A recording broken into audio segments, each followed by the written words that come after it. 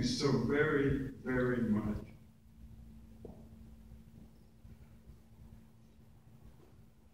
Thank you.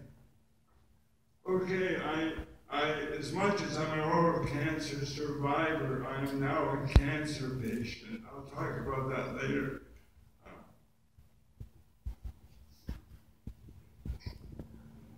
Oh, I went too far. But anyway, in, in 1963, first day of high school, I started smoking. I quit in June of 2000 when I graduated high school. in 2005, I was a quick learner. In 2005, I retired at the age of 55, and that's where that 55 comes from, by the way. You work for five years, you retire at 55. so I was very, very happy about that. But in 2007, I started getting headaches. I never had a headache in my entire life. And I drank probably more than anybody in this room over the years. Although I haven't drank for about 13 years. I'm Not sure that. I haven't smoked for about that long. Um, I haven't drank for as long as I, from the time I got treated with cancer, I had to give up the drinking. Um, so I never had I had it my entire life. I went to my GP, I went to ER, this is over a two-year period. I went to massage therapists, chiropractors, I went to a naturopath. The only thing I didn't go to was a witch doctor because it was not listed on Google in mm-hmm. where I live. 2009, um, I should to tell you, I'm an actor. When I retired, I became an actor and a voice artist. And in 2009, after our last performance with Tony and Tina's wedding, which I did every Thursday, Friday, and Saturday for a year and a half in Vancouver, um, we finished our last show Saturday night, and on Sunday morning, I was in my backyard having a toasted tomato sandwich. And all of a sudden, my mouth started filling with liquid, which was strange because I wasn't drinking anything. I touched my mouth, and there was blood there. What the heck is this? And before I knew it, I couldn't talk because there was this gargling sound like I was choking to death. And I was choking on the blood. My wife called the ambulance. They rushed me to the hospital. And uh, that was on a sa- Saturday, sorry, on a Sunday. On Monday, I went and saw the specialist, which the emergency had arranged for me. Um, he put a stroke down through my nostril, which, believe me, is not a more, not a very comfortable feeling with a camera down to my throat says, yeah, you have a tumor, and you, the tumor burst. So we're going to schedule you um, for a biopsy as well as a contrast CAT scan. I had the CAT scan on the Wednesday. I had the biopsy that Friday. And on the biopsy, because they were worried about putting the contraption for breathing while they put me out to do the biopsy, they were worried about breaking the tumor again, so I had to be awake, sitting up in the operating room while four people held me down and they put the oxygen tube down through my nose, down to my throat, and into my lung. You don't ever want to have that done. So, make a long story short, in July, uh, after the biopsy, that was on Friday, the doctor said my secretary will call you on Monday, make an appointment for you to drop in, discuss the results. I said, Doc, you gotta tell me, is it cancer? He said, I'm pretty sure it is, yeah. On Monday, I phoned his office. He's on holidays for two weeks. And there was no, they weren't checking for messages. And when you got cancer, you think you got cancer, and you've been bleeding, you've been in the hospital, your wife's bawling her eyes out, thinking you're dying. You're just in shock. You don't know what to do. But I'll tell you what you want to know is you want to know what's going on here. So that period from the first part of June until July, uh, towards the end of June when I saw my specialist, and then he told me I would be going to the cancer center in Surrey, and the oncologist would map out a treatment. But he said it would probably be radiation, seven weeks of it, the maximum, as well as chemotherapy.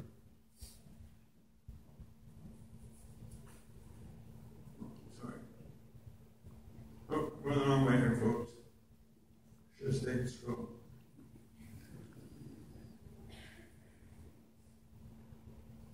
So I just want to show you uh, part of the treatment.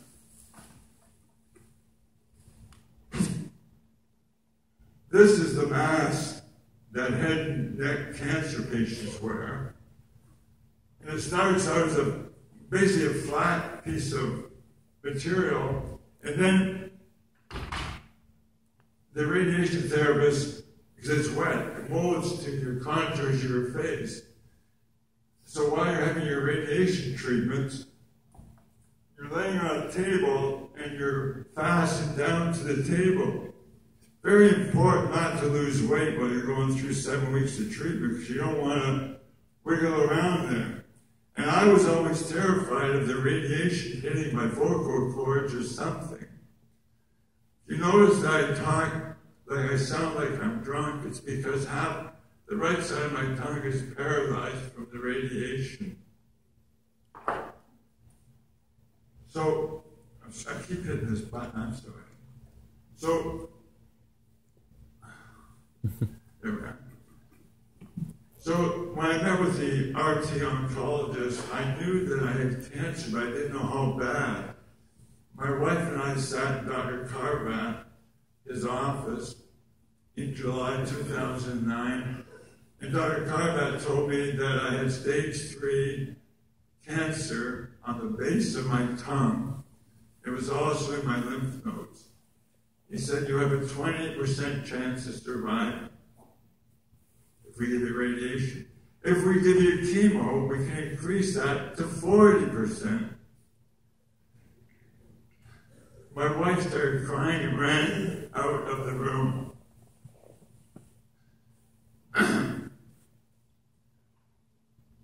but I didn't, because somebody needed to be strong for her.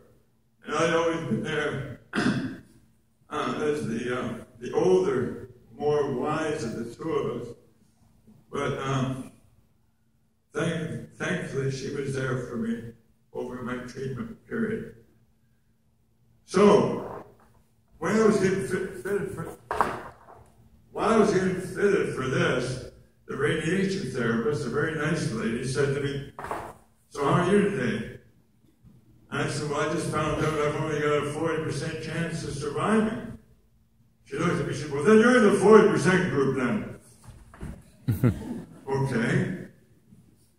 But I thought about it. What she said was so true because if you wake up in the morning thinking you're in the 60% that's not going to survive, what, what kind of life is that?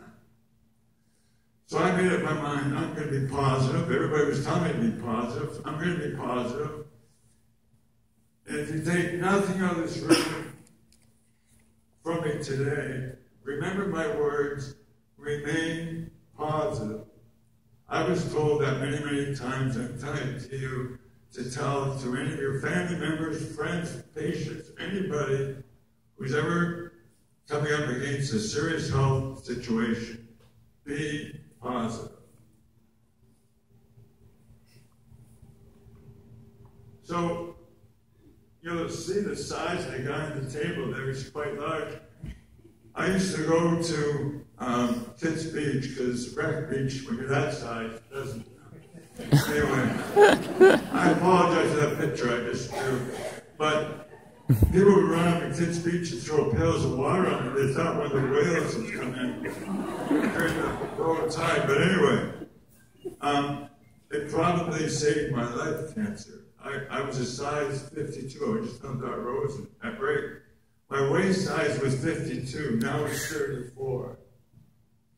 Um, I put a lot of weight on in my life because of unwise choices, the job I had, I entertained a lot at 10, 11 o'clock at night, drinking, eating, what have you.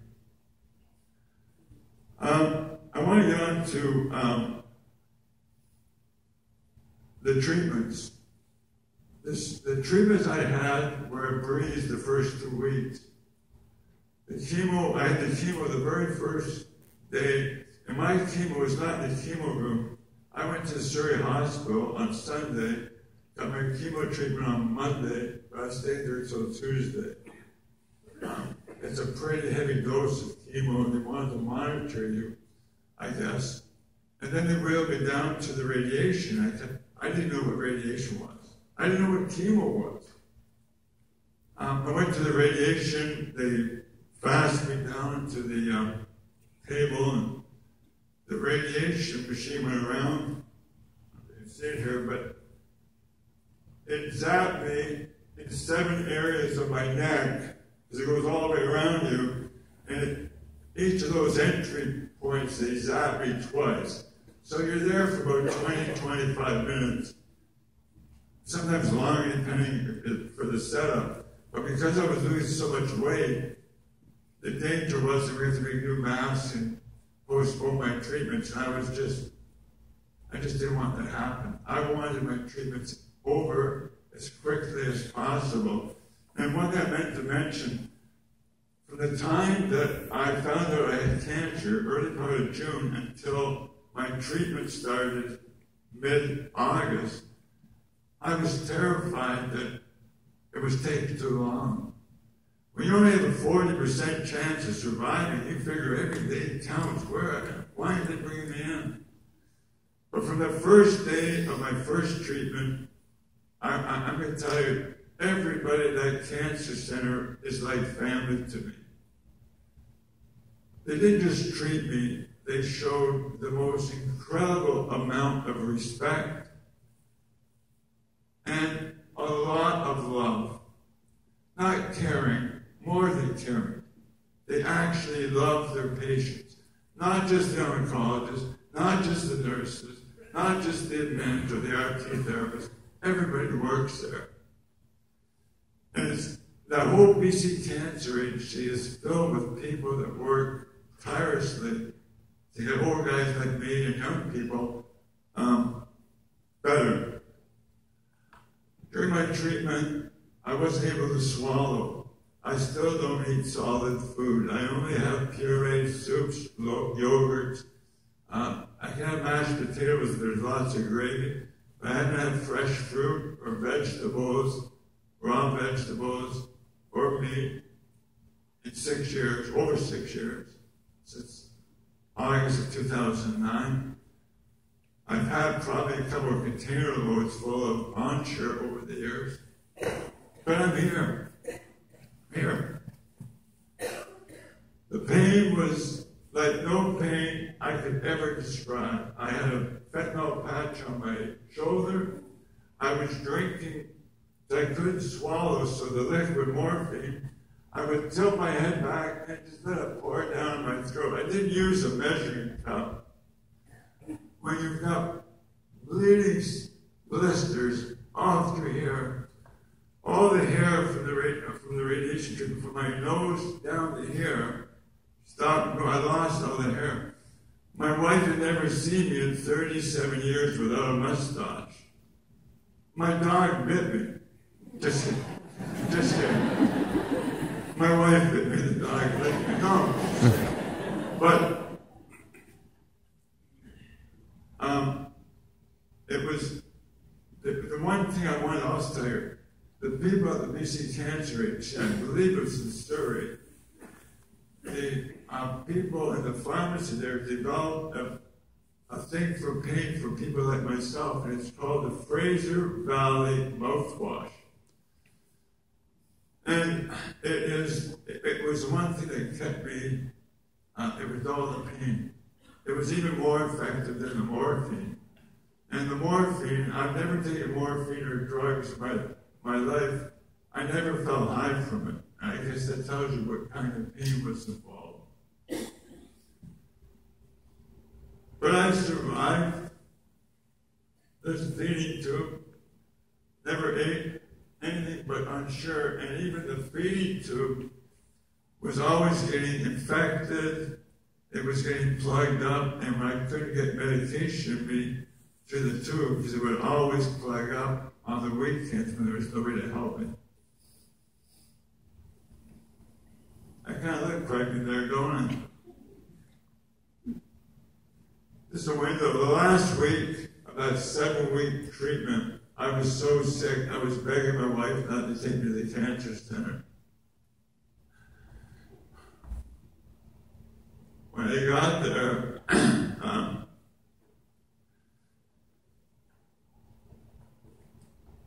they put they put me in the in the hospital, and my body was starting to shut down because it was starving. I had no fluids in me because I couldn't swallow. I, I couldn't get fluids in me. Anyway, they booked me in the hospital on 51 North, the oncology floor. And I, that night was the first night I thought, I, I don't think I'm ready. I don't think I'm ready to get out of here. That's the window from 51 North. I figured that's what I get to look at before I head off to the astral plane.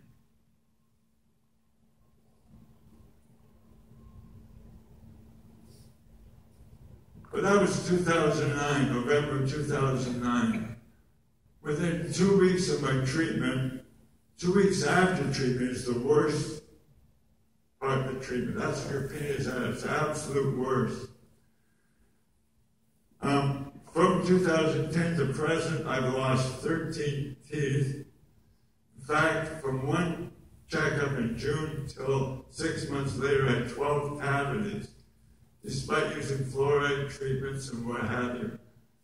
I'm not saying that the radiation does that to everybody, but certainly to me, I had great teeth and I've lost my teeth. I, I've had implants. That picture to the left was um, my face three days after the first implants I had done. I had three teeth on the right side, three teeth on the left side, and a bridge in between them.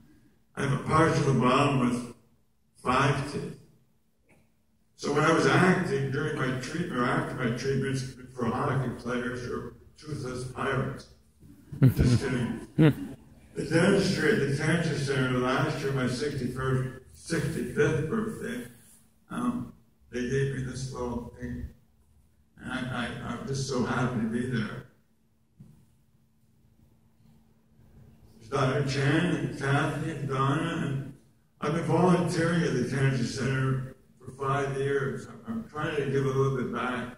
And every year I do the Santa Claus.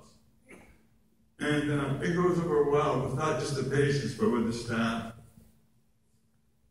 So I'm chasing my dreams again, although I guess the most I'll ever become is an almost famous actor as an almost pregnant. Think about it. it's my last attempt at humor. You'll get it around 3 o'clock the afternoons. I'm very, very witty. And um, I, I write about my cancer, about volunteering, about my weird and wonderful life. Um, I don't write about politics or religion. I have a website there. I, would like to make an offer to each and every one of you. If you ever want me to come and talk to one or two people, if you know somebody has cancer who needs to talk to somebody, um, I, I, I'm retired. I have nothing but time. So, so thank you once again for what you've done for me. You're going to be saving more lives than you can ever imagine. You may not have thought that when you decided to go into the field of dentistry, either as a dentist or a clinician, but you are going to make a lot of difference. And thank you for all the cancer patients. And one last thing. Families are very, very important when you're going through cancer. When I was going through mine, my mother in Toronto was in a hospital. And I didn't dare tell her that I had cancer. But I gotta tell you, even at 59 years old, I wish my mom could have helped me and given me a hug and said, You're gonna be okay. I couldn't I phoned her. I used to phone her three, four times a week. I used to go to Toronto five, six times a year. And suddenly, from November, uh, from August 2009 to the summer 2010, I, I just couldn't go anywhere. I was still pretty sick. But I decided that my mom wasn't getting any better, so I phoned her on a Friday night in September, September the 10th, 2010. And I said, Mom, I'm coming down. I just booked my flight. I'll be there in two, two weeks.